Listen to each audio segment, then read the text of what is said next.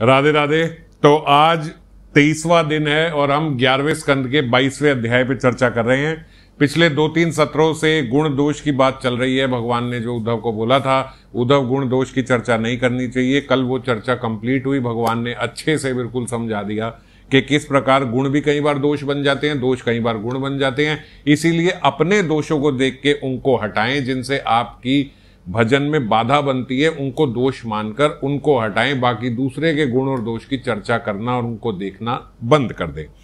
आज उद्धव जी ने भगवान से प्रश्न पूछा, भगवान, आपने थोड़े समय पहले अभी 28 तत्वों की चर्चा करी थी कि ये 28 तत्व होते हैं। हमने आपसे बताया था 28 तत्व जो होते हैं। तो वो 28 तत्व कैसे, जैसे श्लोक में मैंने आपको पढ़ के बताया था, नव एकादश पंच त्रिन भावान। ये 28 तत्वों से भगवान ने कहा, पूरी सृष्टि बनी हुई है। ये सारी सृष्टि में जितने तत्व हैं, बस 28 तत्व हैं। यूँ समझो कि जैसे ये 28 ही तत्व हैं जिनसे ये सब कुछ निर्माण निर्मित है, सब कुछ। पूरे जगत में जो भी कुछ है, वो केवल 28 तत्वों के भीतर ही आता है। ये 28 क्या है? नव, एकादश, पंच, त्रिन, भावान। इसको डिवाइड किया गया, नौ, ग्यारह, पाँच, तीन। नौ क्या है? नौ है प्राकृति, जीव, महत, तत्व, अहंकार और पंच तन मात्र। ये पाँच तन मात्र क्या होते हैं? जैसे आवाज़, स्पर्श, आकार, स्वाद और सुगंध। तो ये मिलके बने नौ। और ग्यारह क्या है? पाँच कर्म इंद्रियाँ और पाँच ज्ञान इंद्रियाँ। कर्म इंद्रियाँ क्या है? जैसे मुँह, हाथ, पैर, तीन हो गए और एक जहाँ से मल त्यागते हैं और एक जहाँ से मूत्र त्यागते हैं। ये पाँच हमारे कर्म इंद्रियाँ हुई। पाँच ज्ञान इंद्रियाँ क्या हैं? कान, नाक, आँख, त्वचा और जिभा ये हमारे पाँच ज्ञान इंद्रियाँ हैं। अब ये पंच तन मात्र जो हमने पहले बोले थे ना, ये इन्हीं के, इसी से जो हम कार्य करते हैं, उसको पाँच तन मात्र बोलते हैं। जैसे पाँच कर्म इंद्रियाँ हुई, पाँच ज्ञान इंद्रियाँ हुई। अब जैसे कान है, कान ज्ञान इंद्रिय है। कान से सुनना, जो आवाज़ आएगी, ये भी एक तत्व है। तो ये पाँच तन मात्र जो होते हैं। नाक नाक से सूंघना तो जो सूंघ, जो हम खुशबू लेते हैं, जो सूंघने की शक्ति है जिब्भा से स्वाद लेने की शक्ति, आँख से देखने की शक्ति और त्वचा से छूने की शक्ति। तो इस भेद से ये आप समझ गए, पाँच कर्म इंद्रिया पाँच ज्ञान इंद्रिया और पाँच सेंस परसेप्शन जिसे कहते हैं, पाँच तन मात्र। एक हुआ हमारा मन। तो पहले नौ और यहाँ पे पाँच कर्म इंद्रिया पाँच ज्ञान इंद्रिया और एक मन। ठीक है? पाँच, उसके बाद नव एकादश पंच। पंच क्या है? पंच भूत है। अग्नि, पृथ्वी, जल, वायु, आकाश। और तृण। तृण क्या है? तीन। तीन गुण है। सतोगुण, रजोगुण, तमोगुण। ये सारे मिलके 28 बने और इन 28 तत्वों से ही ये सारी सृष्टि बनी है। ये भगवान ने 19वें अध्याय में चर्चा करी थी। आज उद्धव अब दोबारा इस पे प्रश्न पूछ रहे हैं कि आपने तो बताया था 28 है और मैंने कई ऐसे ऋषियों से, मुनियों से सुना जो कई बोलते हैं छब्बीस है, कोई बोलते हैं पच्चीस तत्व हैं, कोई बोलते हैं सात तत्व हैं, कोई बोलते हैं नौ तत्व हैं, कोई बोलते हैं चार तत्व है, और सारे इतने बड़े बड़े ऋषि मुनि हैं, सारे ही इतने सिद्ध महात्मा हैं कि समझ में नहीं आती कि कौन सही बोल रहा है कोई कौन गलत बोल रहा है। तो हे भगवान, अब तो आप मेरे समक्ष हो, मेरे सामने हो, आप ही बताओ कि इसमें क्या सही है और क्या गलत है। तो भगवान ने बोला, देखो, इस विषय में जो भी कुछ कहता है वो सब सही है। उद्धव जी ने कहा ऐसे कैसे सब सही हैं? आप कहते हो अट्ठाईस तत्व हैं कोई कहते पाँच तत्व हैं कोई कहते केवल चार ही तत्व हैं कोई कहते नौ तत्व हैं कोई कहते छब्बीस तत्व हैं। तो भगवान ने थोड़ा सा उसको सम, उनको समझाया उद्धव जी को। उन्होंने कहा देखो उद्धव जी मैंने आपको सारे अट्ठाईस तत्व अलग अलग बताए। कुछ ऋषिगण ऐसे हैं जो बताते हैं कि देखो प्राकृति चौबीस प्रकार की प्राकृति होती है। तो उन्होंने क्या किया? एक प्राकृति के भीतर ही पाँच तन्मात्र और सेंस परसेप्शन जो होती है, पंच तन मात्र, पाँच कर्म इंद्रियाँ पाँच ज्ञान इंद्रियाँ ये पंद्रह समझ गए? पाँच कर्म इंद्रियाँ पाँच ज्ञान इंद्रिय और ज्ञान इंद्रिय से जो कार्य होता है, वो पाँच तन मात्र सेंस परसेप्शन ये पंद्रह और एक मन, सोलह और पंचभूत, अग्नि, पृथ्वी, वायु, जल, आकाश। इक्कीस इक्कीस और तीन, सतोगुण, रजोगुण, तमोगुण। ये उन्होंने कहा, ये प्राकृति है। चौबीस प्रकार की ये प्राकृति है और एक जीव और एक ईश्वर। तो टोटल 26 तत्व हुए। तो ऐसे उन्होंने जो 26 बोला, अब जिन्होंने 25 बोला, उन्होंने बोला, भाई देखो, जीव और ईश्वर को अलग अलग क्या लेना? जीव तो ईश्वर का ही अंश है। तो जब जीव ईश्वर का ही अंश हुआ तो जब आपने ईश्वर बोल दिया तो ईश्वर ने अपने आप को थोड़ा सा डिवाइड करके थोड़ा सा अपना अंश निकाल के अगर जीव बना दिया तो भगवान से अलग थोड़ी हुआ, क्योंकि क्वालिटेटिवली तो जीव एक ही है, ईश्वर के साथ ही है। तो इसीलिए उन्होंने कईयों ने 26 के 25 कर दिए, कि केवल 25 तत्व होते हैं कईयों ने अलग तरीके से 25 तत्व कर दिए, अलग तरीके से 25 तत्व कैसे करें? बोलते उन्होंने प्राकृति जो ली, जैसे हमने बोला था नव एकादश पंच तृण भावान तो उन्होंने तृण जो है 28 में से ये जो तीन गुण हैं, सतोगुण, रजोगुण, तमोगुण, इनको काउंट नहीं किया। उन्होंने कहा, ये प्राकृति जब आपने बोल दिया तो प्राकृति के भीतर आ गए। समझ गए? तो 28 माइनस तीन, पच्चीस। तो उन्होंने कह दिया कि भाई, केवल पच्चीस ही तत्व है। कई लोगों ने बोला कि केवल सात ही तत्व है। अब सात तत्व कैसे हैं? तो बोलते उन्होंने कहा कि पाँच तो भूत हो गए, अग्नि, पृथ्वी, वायु, जल, आकाश और एक जीव और एक परमात्मा। तो उसने कहा, जो भाई, बाकी पाँच कर्म इंद्रियाँ, ज्ञान इंद्रियाँ, बोले, वो तो सब जीव के भीतर आ गई। जब जीव आ गया तो पाँच कर्म इंद्रियाँ, पाँच ज्ञान इंद्रियाँ, पाँच तन मात्राएँ सब उसी के भीतर आ गई। और जो हमने पंचभूत कहा तो सारी प्रकृति जो है, ये पंचभूत से ही तो बनी है। अग्नि पृथ्वी जायु, वायु, जल, आकाश। तो इसको अलग अलग क्या लेना फिर? वो सारी उसमें आ गई तो इस प्रकार से केवल सात ही तत्व है। कईयों ने बोला कि भाई, केवल सात तत्व नहीं है, इसमें छह ही तत्व है। तो बोला अच्छा छह तत्व कैसे? तो बोले, पाँच पंचभूत और एक परमात्मा। जीव को भी अलग क्यों लिखते हो भाई? जीव तो परमात्मा का ही अंश है। तो पाँच पंचभूत में ही उन्होंने कहा, प्रकृति भी आ गई और तीनों गुण भी आ गए। और जब हमने परमात्मा की बात करी तो परमात्मा में जीव भी आ गए और जीव की सारी कर्म इंद्रियाँ, ज्ञान इंद्रियाँ, मन, अहंकार इत्यादि सब उसी में परमात्मा में आ गया। तो पाँच पंचभूत और एक परमात्मा, खाली छह ही तत्व है। कईयों ने बोला, सत्रह तत्व है भाई। अब बोले, सत्रह कैसे हैं? तो भगवान ने कहा, उन्होंने ये विवेचना करी कि पाँच भूत, अग्नि, पृथ्वी, वायु, जल, आकाश, पाँच तन मात्राएँ, पाँच ज्ञान इंद्रियाँ, एक मन और एक आत्मा। तो उन्होंने बोला कि भाई, इस हिसाब से केवल सत्रह तत्व बनते हैं। और कईयों ने बोला, नहीं, सत्रह नहीं, सोलह बनते हैं। क्यों? उन्होंने कहा, आत्मा और मन को अलग अलग क्या लेना? आत्मा तो मन ही तो आत्मा को कैरी करा के लेके जाता है। एक शरीर से दूसरे शरीर में तो वो तो एक ही हुए तो सत्रह नहीं, सोलह है। अब इसी हिसाब से किसी ने तेरह बोला, किसी ने नौ बोला, किसी ने चार बोला। बड़ी बात यह है कि भगवान ने पच्चीसवें श्लोक में चौबीस श्लोक तक यही सारा समझाया गया। और पच्चीसवें श्लोक में भगवान ने बोला कि देखो, और जितने भी लोग ये जो भी बात कहते हैं, ये सब का कहना उचित है। मेरे हिसाब से जो भी जिसने बोला, वो सब सबने ठीक बोला। किसी के तत्व में कोई बुराई नहीं है। सबके पास अपने अपने लॉजिक हैं। इस हिसाब से सब सही है। तो कोई गलत नहीं है, कोई विवाद नहीं है। जो कोई विवाद करता है, वो मेरी माया के स्वरूप में पड़ा हुआ है। वो ठीक रूप से जान नहीं रहा है। बाकी सबने अपने अपने जो लॉजिक दिए मैं उन सबके लॉजिक को अप्रूव करता हूँ और सब सही है। तो टोटल अट्ठाईस ही हैं, सब मानते हैं अट्ठाईस ही हैं। कोई कहता है ये इसके अंतर्गत है, कोई कहता है ये इसके अंतर्गत है, कोई इसके तो सबने अलग अलग बातें करी उद्धव। तो जो सबने कहा, सबने ठीक कहा। अब उद्धव के इस प्रश्न का तो ठीक से भगवान ने उत्तर दिया। उद्धव का अब एक अगला प्रश्न हुआ। उद्धव जी ने कहा कि भगवान अच्छा एक बात बताओ, ये जो प्राकृति और पुरुष है, यानी जीव और प्राकृति, माया निर्मित, ये जितनी सृष्टि है तो ये प्राकृति और पुरुष दोनों एक दूसरे से हैं तो अलग। मैं जानता हूँ कि ये अलग है। पर ये इतने घुल मिल जाते हैं कि ये अलग नहीं लगते। कैसे पता चले कि ये अलग है? इनको लेके मेरे अंदर बड़ा संदेह है। सं, आप समझ गए? कि भाई ऐसे लगता ही नहीं है कि हम इस जगत के नहीं हैं। ऐसा लगता है कि भाई हम सब इसी जगत के हैं सब यहीं खा रहे हैं पी रहे हैं खाने से हमारा पोषण हो रहा है हमें भूख लग रही है नहीं खाते तो हम दुर्बल हो जाते हैं मृत्यु तक हो जाती है। तो इस प्रकार से कैसे कहें कि हम इससे अलग हैं? हम पूरी इस सृष्टि से अलग है। ये कैसे माने? ऐसा लगता ही नहीं वो तो इतना इंट्रिकेट हो गया, इतना घुल मिल गए कि वो तो बिल्कुल अभी नहीं लगते हैं। तो माया की ये जो विचित्र गति है, प्रभु, ये आप ही जानते हैं। इसके आपके अलावा कोई जानता नहीं, अतः आप मेरा संदेह मिटाएँ कि भाई ये अलग अलग कैसे है। तो भगवान ने बोला, देखो, शरीर और आत्मा, इनमें बहुत बड़ा फ़र्क है, बहुत बड़ा फ़र्क है। आप ऐसे मत बोलो कि ये एक जैसे लगते हैं, गुलमय, इनके बीच में बड़ा अंतर है। आप इस बात को समझो कि ये जो मेरी माया है, ये त्रिगुणात्मिक है। त्रिगुणात्मिक मतलब ये सतोगुण, रजोगुण, तमोगुण से निर्मित है, ये एक बात है। फिर भी इसमें विकारात्मक सृष्टि भी तीन भागों में बांटी गई है। विकारात्मक सृष्टि तीन भागों में बांटी गई है। किसमें? अध्यात्म, आदिदेव और आदिभूत। बात समझना।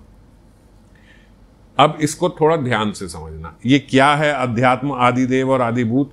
जैसे हमारे नेत्र किसी वस्तु को देख रहे हैं। जैसे मान लीजिए सूर्य है। सूर्य की, सूर्य को हमने देखा। तो नेत्र जो हैं, ये अध्यात्म है। और जो नेत्र के देखने की शक्ति है, ये आदिभूत है। और जो देख के हमारी आँखों ने रिसीव की, आप समझ गए? इसको ध्यान से समझना। वो वस्तु तो वहीं पड़ी है। जब मैंने देखा कि ये वस्तु यहाँ पड़ी है तो मेरे नेत्रों में एक इमेज बनी। समझ गए? तो जो मेरे नेत्रों में इमेज बनी, वो भी तो एक वस्तु है। जब मैंने किसी को देखा, मुझे ठीक ठीक दिखाई दिया कि भाई, ये कुर्सी पड़ी है, ये टेबल पड़ा है, ये कैमरा है, ये फ़ोन है, ये सब मुझे दिख रहा है। तो ये सब अलग है। जो मुझे, मेरी आँखों में जो रिसीव हो रहा है, वो वस्तु उसकी इमेज है, उसकी रिफ्लेक्शन है। वो वस्तु तो अलग पड़ी है ना। जैसे सूर्य कितनी दूर है। पर हम सूर्य को देख रहे हैं तो सूर्य मेरे नेत्रों में भी आ गया। आ गया कि नहीं आ गया? कोई भी चीज़ हमने देखी, उसकी एक रिफ्लेक्शन मेरे नेत्रों में आई, है ना? अब जैसे थोड़ा सा मैं अगर आपको इसमें साइंस समझाऊं तो कोई भी एक वस्तु पड़ी हो, अगर बिल्कुल अंधेरा है, बिल्कुल अंधेरा है तो आपको वो वस्तु नज़र में आएगी? नहीं आएगी।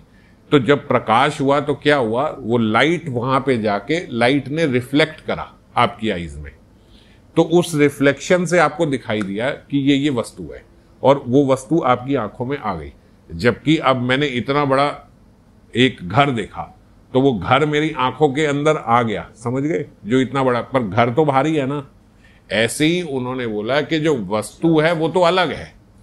आँख आँख को देखने की शक्ति और आँख ने जो देख के कैप्चर कर ली उसकी इमेज ये तीन हैं तीन भेद से बांटा गया अध्यात्म आधिदेव और आदिभूत। इसी प्रकार से उन्होंने बोला कि उद्धव, आत्मा अलग है। आत्मा कभी इसमें नहीं आती। आत्मा का शरीर से कोई लेना देना नहीं है। ये शरीर जितनी भी क्रियाएँ कर रहा है, ये सारी शरीर की तीन भागों में बांटी हुई है। जैसे ऑब्जेक्ट अलग ही रहता है। पर मैंने देखा तो मेरी आँखों के आगे आ गया। पर तब भी है तो अलग ही ना, जिसको मैंने देखा।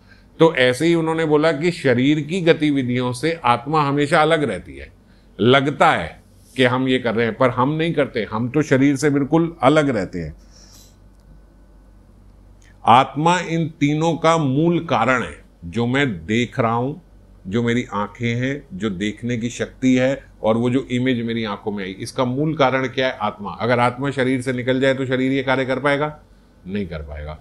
तो आत्मा ऐसे ही अलग होते हुए इसका कॉज है। वो शरीर में है, इसलिए ये गतिविधि चल रही है। पर है वो इससे परे है। वो इसको एक जैसा नहीं समझना चाहिए शरीर को और आत्मा को। ऐसे ही हर चीज़ के साथ है, जैसे नाक है। अब आपने कोई बड़ा स्वादिष्ट लड्डू रखा यहाँ पे। आँख ने क्या किया? आँख ने देखा लड्डू है। लड्डू वहीं है। आँख ने देखा देखने की शक्ति और वो इमेज जो लड्डू की मेरी आँख में बनी। ये तीनों अलग है और लड्डू अलग है। ऐसे ही नाक ने सूँगा उसकी जो खुशबू या वो है, जो उसकी खुशबू है, एक वो भी तत्व है। जो लड्डू से खुशबू आई, एक तत्व वो है। और नाक ने सूंघा भी, है ना? और जो नाक ने सूंघा, नाक के सूंघने की शक्ति और लड्डू से जो खुशबू आ रही है वो, ये तीन हो गए। बात समझ गए? एक नाक एक नाक के सूंघने की शक्ति और एक नाक ने जो खुशबू सूँगी, जो खुशबू सूँगी, ये तीनों अलग अलग भेद हैं। इनसे लड्डू अलग है। तो इसी प्रकार से आत्मा इन सबसे अलग है। आत्मा का कोई वो नहीं है। ये केवल तीन भाग में माया बटी हुई है कि लग रहा है कि हम ही ये सब कर रहे हैं और हम इनके जैसे ही हैं, पर हम इनसे परे हैं। आत्मा इनसे बिल्कुल अलग है। अहंकार के कारण क्योंकि अहंकार तीन भेद में बटी हुई है, सतोगुण, तमोगुण, रजोगुण। तो अहंकार ही अज्ञान और सृष्टि की वैरायटी का मूल कारण है। जो ये हमारा अहंकार है। अहंकार क्या है? अहंकार तत्व क्या है? अहंकार तत्व ये कहलाता है कि मैं ये शरीर हूँ, ये मैं हूँ, ये मिथ्या अहंकार है, ये मिथ्या अहंकार है। समझ गए? जो उसने समझा कि ये मैं हूँ। आत्मा जो है वो ज्ञान स्वरूप है और उसका इन पदार्थों से कोई संबंध नहीं है। ये भगवान उद्धव को समझाने का प्रयास कर रहे हैं। जैसे ये है, ये नहीं है, ये आस्ति नास्ति सगुण, निर्गुण, भाव, अभाव, सत्य, मिथ्या, ये सारी जितनी भी आर्ग्यूमेंट्स हैं, ये बोलते हैं, ये वो लोग करते हैं आर्ग्यूमेंट्स जो उद्धव मेरे से विमुख है, जो मेरे को ठीक से समझते नहीं, जो मुझे जानना चाहते नहीं। जो भजन करते नहीं, जो तत्वों की विवेचना करते नहीं, वो लोग इन सब चक्रों में पड़े रहते हैं, वो इन विवादों से कभी मुक्त नहीं हो सकते। समझ गए? कि ये है, ये मेरा है, ये तेरा है, ये अच्छा है, ये बुरा है, ये दोस्त है, ये दुश्मन है, ये सारी जितनी चीज़ें हैं, ये किन की हैं? जो इन तत्वों को समझ नहीं रहे, वो इन्हीं सब विवादों में पूरा जीवन पड़े रहते हैं और विवाद विवाद में उनका जीवन खत्म हो जाता है। वो मेन तत्वों को तो जान ही नहीं पा रहे कि मैं इस शरीर से भिन्न हूँ। इस तत्व को नहीं जान पा रहे। इस पर कोई विवेचना नहीं कर रहा कि भाई मैं ये शरीर हूँ ही नहीं, मैं अलग हूँ इससे। ये केवल, अब सारा पिछला अगर हम थोड़ा रिवाइज करें, ये केवल एक नाव है। को, किस लिए मिली है? भव रूपी सागर को पार करने के लिए ये नाव मिली है। अब एक आदमी नाव पे चढ़ के सवार हुए और समझने लगे, मैं तो ये नाव हूँ, ये नाव मैं हूँ, ये लहर आ रही है, मैं डूब जाऊँगी, मैं गीली हो रही हूँ। मैं यहाँ गीली हो रही, अरे अरे, देखो मेरे कपड़े गीले, अरे, आप नाव के ऊपर हो, आपने अपने आप को नाव समझ लिया। तो अब अब गड़बड़ हो गई कि नहीं हो गई? तो इसी प्रकार से आत्मा ने अपने आप को शरीर जान लिया। और जब एक्चुअली आत्मा ने नहीं, अहंकार से हमने उसमें मैं पना डाल दिया।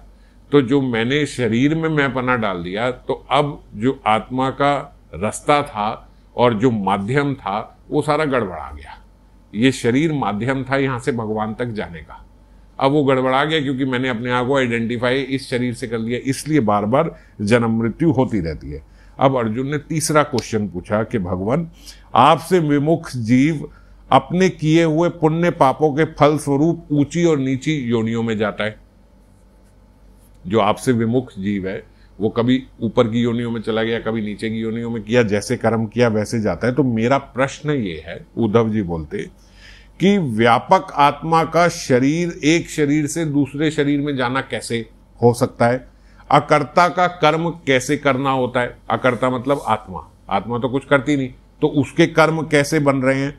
और नित्य वस्तु का जन्म और मरण कैसे संभव हो रहा है? कि भाई आत्मा आ रही है, आत्मा जा रही है, आत्मा यहाँ अब इसमें पैदा हो गई, अब उसमें हो गई, इसकी आत्मा यहाँ खत्म हो गई, वो हो गई। ये उद्धव जी ने प्रश्न किया। तो भगवान ने बताया, देखो उद्धव मनुष्य का जो मन है, वो उसके सारे पूर्व संस्कारों का घर है। हमारा जो मन है ना, ये मन ऐसे है जैसे स्टोर हाउस होता है। मेरे जितने पिछले जन्म रहे हैं, उन पिछले सारे जन्मों की जितनी वासनाएँ हैं, जितने संस्कार हैं, इसको संस्कार बोलते हैं। जैसे संस्कार को अगर सरलता से समझा जाए तो आज मेरे, मैंने चार बार लड्डू खाया तो मेरे भीतर एक संस्कार बन गया कि ये लड्डू मीठा है। समझ गए? अब मेरे मन को पता है ये लड्डू मीठा है। अब आप मुझे बीसों साल लड्डू ना दो। लेकिन मरने के समय भी चालीस साल आज से चालीस साल बाद भी अगर आपने मेरे को लड्डू दिया तो वो लड्डू मेरे मन में परसीव कर जाएगा कि ये लड्डू मीठा है। ये कैसे? कोई कहे, भैया, महाराज जी, आपने तो चालीस साल से लड्डू खाया नहीं। आपको क्या पता ये मीठा है? तो चालीस साल खाया भले ना हो, मगर जो संस्कार मन में छप गया, वो संस्कार नहीं जाता। समझ गए?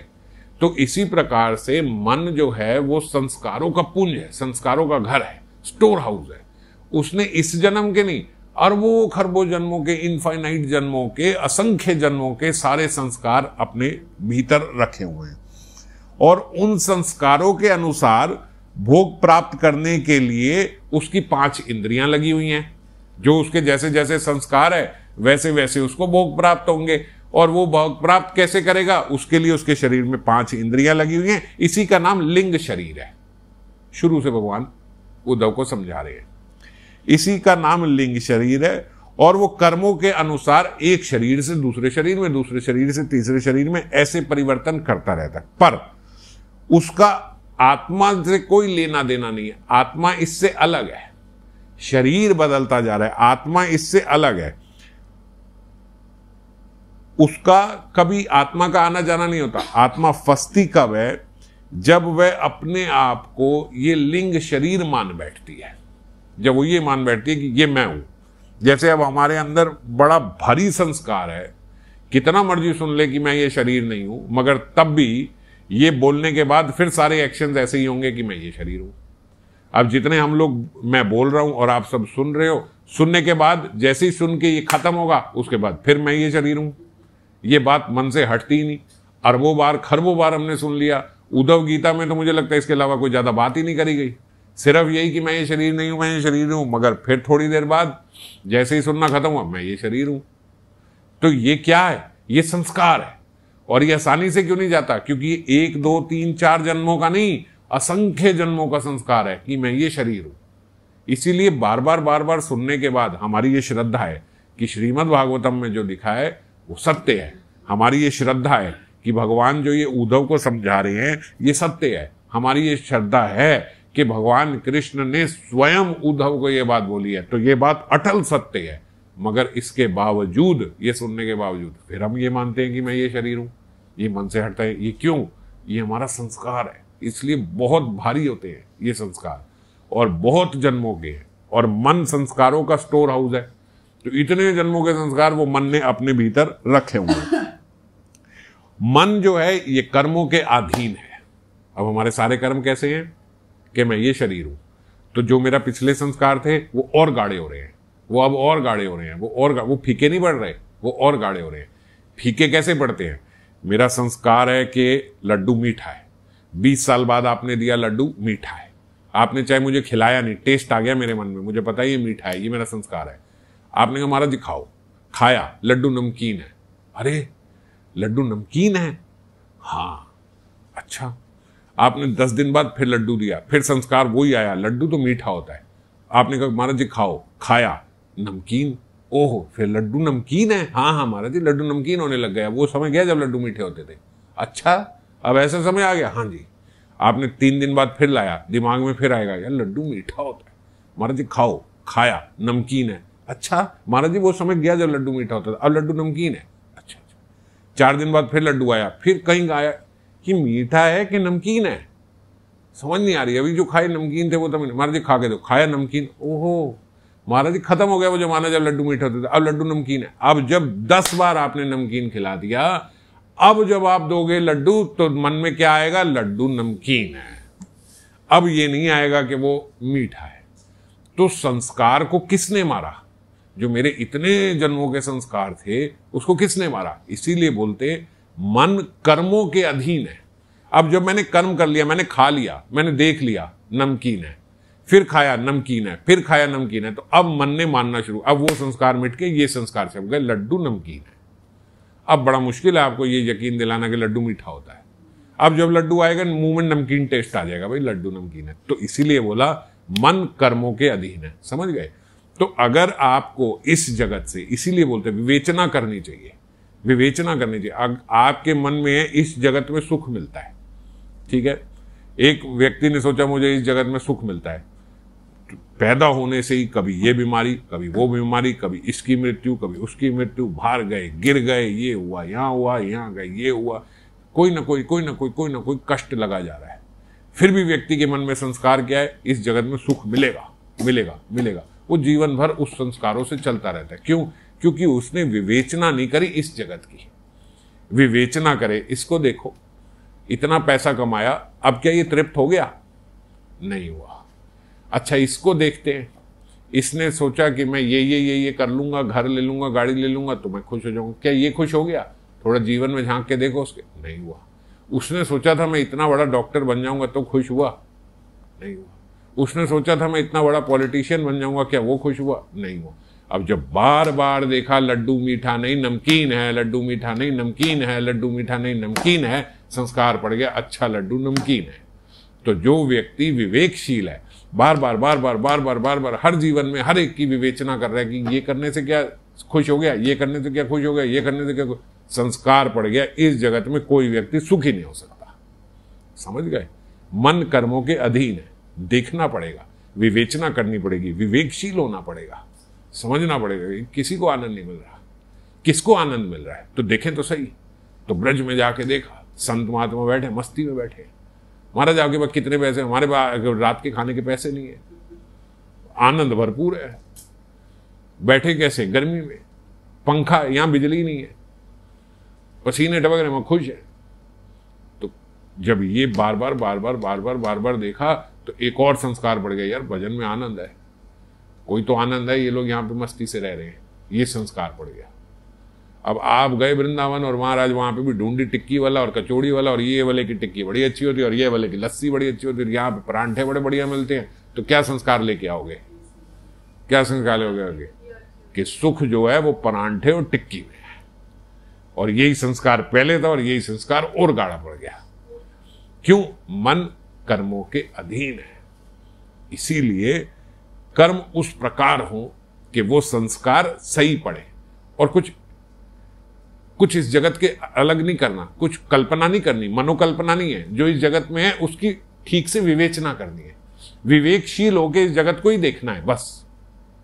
कुछ ऐसे नहीं है कि कोई सुपरफिशियल कार्य करना है आपको। झूठ बोलना है अपने आँखों के, लड्डू नमकीन होता है, लड्डू नमकीन होता है, लड्डू नमकीन। आप माला जपते रहो। मैंने आपको आपको मालूम है लड्डू मीठा है। मैंने आपको कहा माता जी आप ऐसा करो, आप तीन महीने माला करो लड्डू नमकीन होता है लड्डू नमकीन होता है लड्डू नमकीन होता है हाँ बोले मैं माला करूँगी रोज छह माला करूँगी लड्डू नमकीन होता है लड्डू नमकीन अब तीन महीने बाद आगे बाद लड्डू आया आप मान लो कि लड्डू नमकीन होता है आपका क्या होगा मुँह से लड्डू नमकीन होता है लड्डू नमकीन होता है लड्डू नमकीन होता है लड्डू नमकीन होता है मगर लड्डू कोई पूछे ये लड्डू का टेस्ट कैसा है मीठा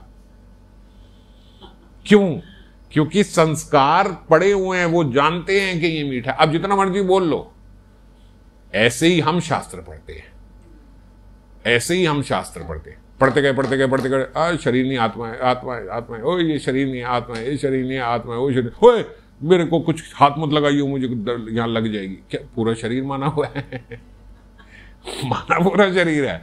पर बोले जा रहे, शरीर नहीं, आत्मा है, शरीर नहीं, आत्मा है, शरीर नहीं। तो ये इससे नहीं होगा। कर्मों से होगा। कर्मों से कैसे होगा? जब व्यक्ति ने देखा कि ये भजन कर रहे हैं, आनंद में कोई फ़र्क ही नहीं पड़ रहा कि शरीर से कोई होती है। उसके साथ हम भी उसके साथ लगे। तो जब उसके साथ लगे, हमने भी जब भजन का आनंद लिया, फिर शरीर कोई टूट फूट रहा है, कोई हमें फ़र्क नहीं पड़ रहा तो संस्कार पड़ गया ये। मन कर्मों के अधीन है। इस बात को समझो। तो जीव जो है, वो ये देखते और सुनते हुए विषयों का चिंतन करने लगता है। जीव हमेशा हदा, सदा सर्वथा। हमारे जैसे जीव जो है, वो जितनी भी बातें सुन ले कि शरीर नहीं आत्मा है शरीर नहीं आत्मा है शरीर नहीं आत्मा है तब भी मन के भीतर ये घूम रहा है कि महाराज कल शाही पनीर बनेगा कि मटर पनीर बनेगा। ये वाली परौंठी खानी है कि वो वाली परौंठी खानी है? ये गर्म दूध पीना है कि ठंडा दूध पीना है? तो चिंतन किसका है? विषयों का। मुझे कल पार्टी में जाना है, ये कपड़े पहनने के वो कपड़े पहनने हैं। वो बोले, महाराज, आप तो शरीर नहीं आता चुप कर। तू ये बता कि अभी कल क्या पहनना है? ये करेंगे। अभी ये क्या करना है, वो क्या करना है? चिंतन विषयों का ही चलता जा रहा है। चिंतन हट नहीं रहा। और मन, चिंतन कहाँ जा रहा है? चिंतन किससे हो रहा है? मन से। तो मन तो सदा लगा हुआ है विषयों में। केवल जिब्बा हिल रही है कि शरीर नहीं, आत्मा है। उससे बात बनेगी नहीं। और जब ये बोलते हैं हम कि ये करना है, वो करना है, ये पहनना है, ये खाना है, वो करना है, ये मुझे प्राप्त करना है तो हमारा मन जो है वो तदाकार हो जाता है उन विषयों से। उसके भीतर और संस्कार गाढ़े हो गए।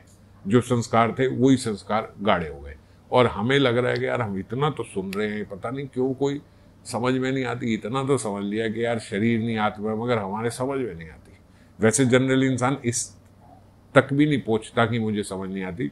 वो ज़्यादा से ज़्यादा इस तक पहुँचता है कि यार इतनी बार सुन लिया, देखना इसको समझ में नहीं आती कि शरीर नहीं आत्मा है। खुद दूसरे की भी वजह अपने को नहीं देखता कि भाई मैं मैं भी ये बात नहीं समझता। तो भगवान ने बोला, देखो, जब यह जीव किसी भी शरीर, किसी भी शरीर को अभेद भाव से मैं के रूप में स्वीकार कर लेता है, ये जीव मतलब ये आत्मा। जब ये किसी भी शरीर को मैं के रूप में स्वीकार कर लेती है, तब उसे हम जन्म कहते हैं। समझ गए? जीव का जन्म क्या है कि उसने मान लिया, ये मैं हूँ। हमने शुरू से मान लिया कि भाई मैं ये शरीर हूँ, ये उसका जन्म हो गया। आत्मा का जन्म नहीं हुआ। आत्मा का जन्म नहीं हुआ। जन्म किसे कहते हैं कि आत्मा ने इस शरीर को मान लिया, ये अब ये मैं हूँ। तो हमने कह दिया जी, ये जन्म हो गया। ये अब जन्म हो गया क्योंकि अब उसने इस शरीर में मैं डाल दिया। और जब उसका उसी प्रकार ये मैं इस शरीर से हट गया तो मृत्यु हो गई। आप उल्टा बोलते हो। जो भगवान बोल रहे हैं, हम बिल्कुल वही बात बोलते हैं, थोड़ी सीरीज़ पलट देते हैं। हम कहते हैं, भाई, जब ये पैदा हुआ तो उसने कहना शुरू किया, ये मैं हूँ। समझ गए? जन्म हुआ, कहना शुरू किया, मैं हूँ। जब वो मर गया तो अब ये मैं रहा नहीं। और भगवान कह रहे हैं कि जब ये मैं हटा दिया तो समझो मृत्यु हो गई। बात तो एक ही है, बस थोड़ी आगे पीछे है, समझ गए? अब जब मृत्यु हो गई तो क्या हो गया? शरीर से ये मैपना हट गया। अब ये मैपना कहाँ चला गया? उस शरीर में, जिस शरीर में हम चले गए। तो आत्मा थोड़े ना जन्मी और मृत्यु हुई। केवल इस शरीर से मैपना हट गया, ये शरीर मर गया। जिसमें शरीर में मैपना डाल दिया, वो शरीर आ गया, वो शरीर का जन्म हो गया। बस यही सारा खेल है। जैसे कि जीव जब एक स्वप्न देखता है और अगले दिन दूसरा स्वप्न देखता है तो जब अगले दिन दूसरा स्वप्न देख रहा है तो उसे पिछले दिन का स्वप्न याद नहीं रहता। आज उसने सपने में देखा कि मैं भीख मांग रहा हूँ। कल उसने सपने में देखा कि मैं राजा हूँ, दस भिखारियों को भीख दे रहा हूँ। तो अब जब वो राजा है, भीख दे रहा है तो उसको ये याद नहीं आएगा, मैं पिछले दिन स्वप्न में मैं भिखारी था। याद थोड़े ना आएगा, वो तो स्वप्न है। स्वप्न में पिछले दिन का स्वप्न कैसे याद आएगा? क्योंकि वो तो ऑलरेडी एक सपना, उससे दूसरा सपना। ऐसे ही वो बोलते हैं, जीव एक शरीर से दूसरे शरीर में जब जाता है तो पिछले शरीर की भूल जाता है। अब उसको लगता है, बस यही सब कुछ है। अब मैं यही हूँ। अब वो इस करेक्टर में इतना भूल गया, वो पिछले वाला भूल गया।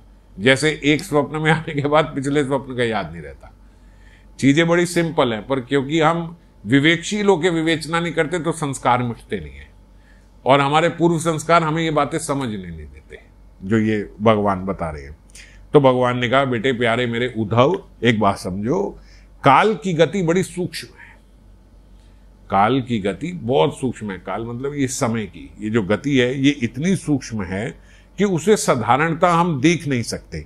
जैसे प्रतिक्षण शरीर की उत्पत्ति और शरीर का नाश हो रहा है। मैंने थोड़े दिन पहले, अभी एक दो दिन पहले शायद आपको बताया था कि प्रति, आज मैं जो हूँ, कल मैं वो नहीं हूँ।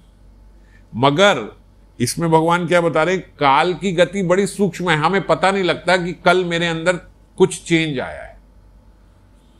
आप अपनी पाँच साल पुरानी फ़ोटो देखो और पाँच साल बाद की फ़ोटो देखो तो शरीर, फ़र्क आया कि नहीं आया? पर वो फ़र्क कब दिखता है? जब हम फ़ोटो से टैली करते हैं। तो लगता अरे, पाँच साल बाद में ऐसा था, पाँच साल पहले ऐसा था, अब ऐसा हो गया। या दो साल पहले ऐसा था, अब ऐसा हो गया। तो जो फ़र्क आया, वो ऐसे तो नहीं आया ना कि चार साल नहीं आया था, चार साल बाद आप रात को सोए, सुबह उठे, आपकी शक्ल बदल गई थी।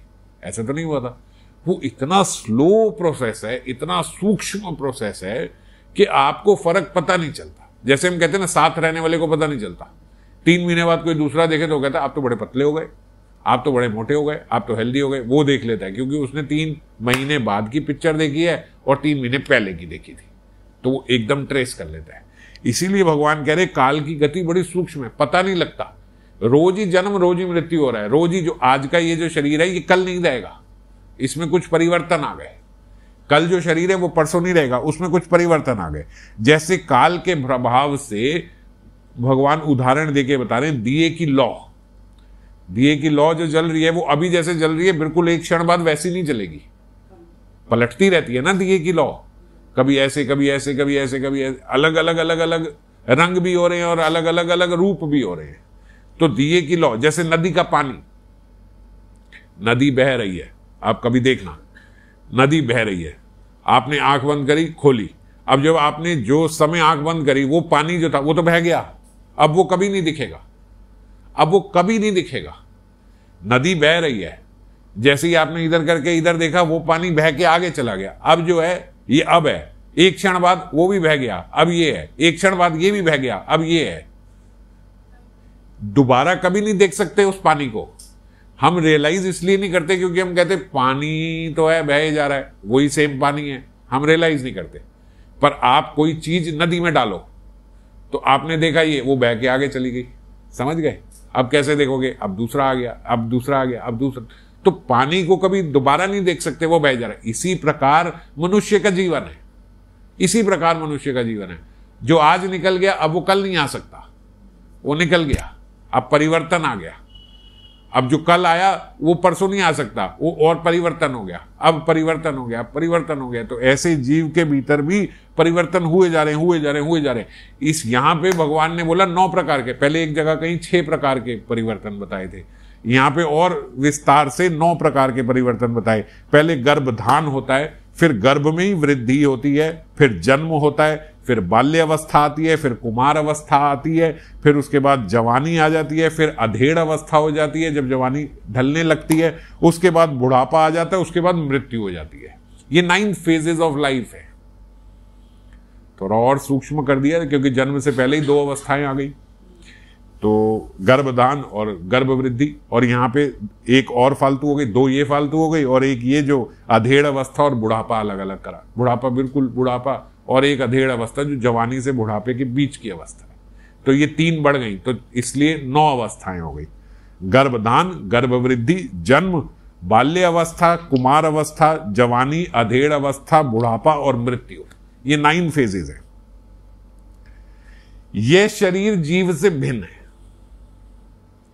जो जीव है, उसकी ऐसी कोई अवस्था नहीं हो रही। आत्मा की ऐसी कोई अवस्था नहीं है। यह अवस्था केवल शरीर की है। अज्ञानवश हम अपने आप को ये शरीर मानते हैं तो हम भटकने लगते हैं। और कभी विवेक हो जाने पर हम छोड़ भी देते हैं। कभी थोड़ी देर के लिए विवेक हुआ, हमने माना कि मैं ये शरीर नहीं हूँ, पर वो बड़ी क्षणिक काल के लिए वो विवेक होता है।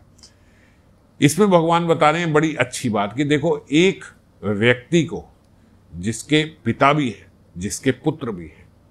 ऐसी अवस्था सबकी आई जाती है जीवन में कि भाई पिता भी और पुत्र भी है। तो बोलते उसको अपने पुत्र के जन्म से और पिता की मृत्यु से ये देख लेना चाहिए कि ये जीवन से मरण तक की ये साइकिल है। पुत्र के जन्म से और पिता के मृत्यु से ये हिसाब लगा लेना चाहिए कि यही देखो जीवन। अब हम यही कह रहे हैं ना, हम विवेचना नहीं करते। हम देख तो रहे हैं इस जगत को, मगर अंधे बने हुए हैं। अगर विवेकशील व्यक्ति देखे तो देखिए, देखो, ऐसे ये जन्म हुआ। ऐसे ही एक दिन मेरा भी जन्म हुआ था। जैसे आज मैं जिस अवस्था में एक छोटे बच्चे का पिता हूँ, ऐसे मेरे पिताजी भी थे। उससे पहले मेरे पिताजी का भी ऐसे जन्म हुआ था। तब मेरे दादाजी मेरी उम्र के थे। आज करते करते ये अवस्था हो गई, मेरे पिताजी चले गए। और मेरे पुत्र का भी जन्म हुआ है। थोड़े दिन बाद मेरा पुत्र मेरी अवस्था में आएगा, मैं अपने पिता की अवस्था, थोड़े दिन बाद मैं चला जाऊँगा और मेरे पुत्र का आगे पुत्र हो जाएगा। तो ये तो ऐसे ही शुरू होना है और ऐसे ही खत्म होना है। तो क्यों इस चक्कर में मैं इतना पड़ा हुआ हूँ? क्यों? क्यों पड़ा हुआ हूँ मैं इस चक्कर में इतना? समझ नहीं आ रही अपने बच्चे को पैदा होते हुए देखा और पिता को मरते हुए देखा तो समझ नहीं आ रही क्या? या चलो पैदा और मरने की अगर अभी नहीं है तो करंट अवस्था ही देख लो। अपने बच्चों की अवस्था देखो, अपने पिता की अवस्था देखो। बीच में आप हो तो सारी साइकिल समझ में आ जाएगी, देखो किस हिसाब से परिवर्तन होता चला जा रहा है।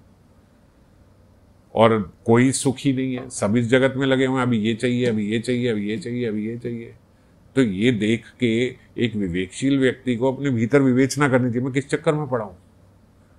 ये तो जैसे उनका अंत हो रहा है, ऐसे मेरा अंत हो जाएगा तो मैंने क्या खास किया? मैं किस लिए आया था? क्या पर्पस है मेरी लाइफ का?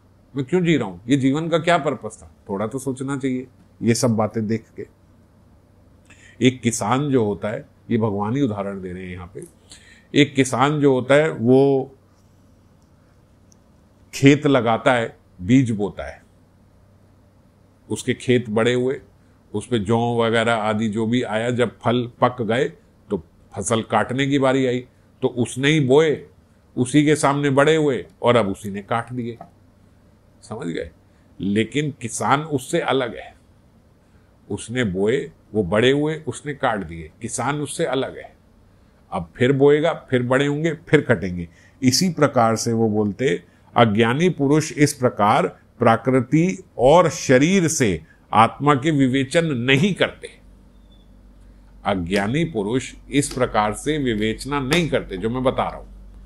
अगर विवेचना करें तो वो समझ जाएँगे कि तत्वता हम इस शरीर से अलग हैं।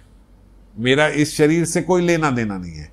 विषय भोग में सच्चा सुख जो हम मानने लगते हैं और उसी में मोहित हो जाते हैं, इससे उन्हें जन्म मृत्यु के संसार में भटकना पड़ता है। हम किस लिए बार बार जन्म रहे हैं? किस लिए बार बार हमारा मरण हो रहा है? क्योंकि ये विषय भोग से हम मोहित हो गए हैं। मोहित हो गए हैं। खुश हो गए हैं नहीं? आनंदित हो गए हैं नहीं? मोहित हो गए हैं। मोहित होने का मतलब भ्रम में पड़ गए हैं कि इससे हमें आनंद मिलेगा। और मिल रहा नहीं है। बात समझ गए? तो कितने, जो जो सोच रहा है कि मुझे मिल जाएगा और मिल नहीं रहा, उसको क्या बोलेंगे? मोहित हो गया, पागल हो गया सरल भाषा में बोले तो ऐसे कहेंगे, पागल हो गए पगला गया इसे लग रहा है कि इससे मिलेगा, इससे थोड़े ना मिलेगा। इसी प्रकार से हम ये मोहित हो गए हैं। सात्विक कर्म करते हैं तो ऋषियों के लोक में जन्म मिलता है। रजोगुणी ज़्यादा कर्म करते हैं तो फिर मनुष्य आदि योनियों में मिलता है और आसुरी कर्म करे मांस मच्छी खाया, ये सब खाया, मदिरा पान किया और और बड़े सारे उल्टे कार्य करे, तमोगुणी में गए तो फिर भूत प्रेत की योनि या फिर किसी नीच पशु पक्षी की योनि मिल जाएगी। और फिर वो सारी साइकिल शुरू हो जाएगी।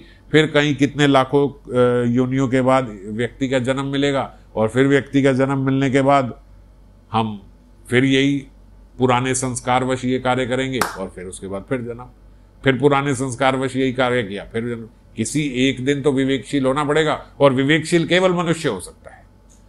पशु नहीं हो सकता पशु नहीं हो सकता, कोई नहीं हो सकता, केवल मनुष्य हो सकता है। तो बड़ा बहुमूल्य जीवन है ये, भगवान बता रहे हैं। इसे व्यर्थ ना करें।